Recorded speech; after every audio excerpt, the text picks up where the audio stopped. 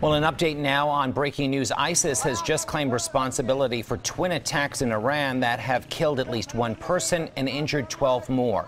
Suicide bombers and gunmen stormed Iran's parliament and simultaneously targeted a nearby shrine.